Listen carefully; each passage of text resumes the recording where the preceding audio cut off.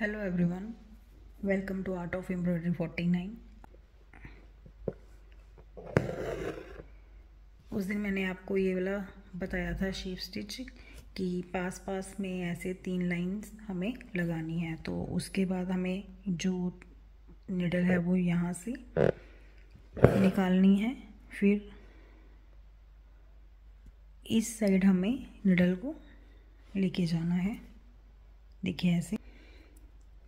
इस वाले साइड से इस पॉइंट पे ही हमें निडल को लेके जाना है। फिर से। और ये हमारा शीप स्टिच बन के रेडी हो जाएगा। उस दिन मैंने आपको ये वाला जो स्टिच है, वो बताया था। तो इसे हम ऐसे भी बना सकते हैं, इसे हम ऐसे भी बना सकते हैं। ये देखिए, एक स्टिच लगाया मैंने स्ट्रेट ऐसे। दूसरा थोड़ा दूर। लगाया। तीसरा और दो, थोड़ा सा। फिर यहीं से हमें लेनी है निडल फिर इसमें से पास करेंगे, इस साइड से।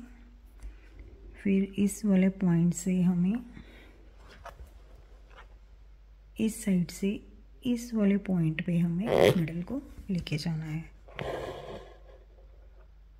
ये देखिए, ये हमारा दूसरा जो मेथड है, वो बन के रेडी हो गया। ये फ़र्स्ट था, ये सेकंड है। अब और कैसे बना सकते हैं? एक यहाँ से जैसे हमने स्टिच लगाया। स्ट्रेट छोटा सा। फिर यहाँ से एक बड़ा स्टिच लगाया। ये देखिए, ऐसे। फिर यहाँ से एक छोटा सा स्टिच लगाया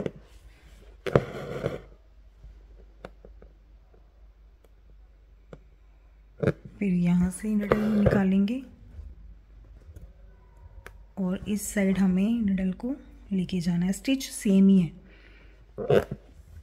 मतलब बनाने का तरीका जो है वो सेम ही है। बस ये जो लाइंस हम लगाते हैं ना पहले, ये छोटी बड़ी आप कर सकते हो।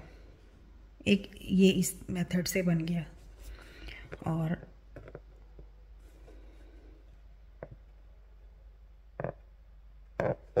एक आप इस तरह से भी बना सकते हो। बड़ा स्ट्रेट स्टिच फिर थोड़ा उससे छोटा। फिर उससे छोटा। निडल फिर सेंटर में से निकालेंगे। इस साइड निडल ले जाएँगे। यहाँ से उसी पॉइंट पे हमने निडल को लेके जाना है। ये देखिए। इन सभी तरीक़ों से आप जो है शीप स्टिच वो बना सकते हो। इसे बटरफ्लाई स्टिच भी बोलते हैं। इस वाले स्टिच को।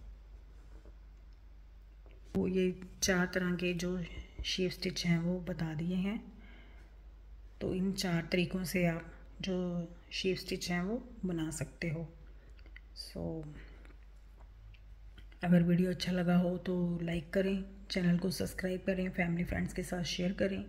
कमेंट बॉक्स में मुझे बताएँ कि आपको मेरे वीडियोस कैसे लग रहे हैं। So thank you so much for watching this video thanks a lot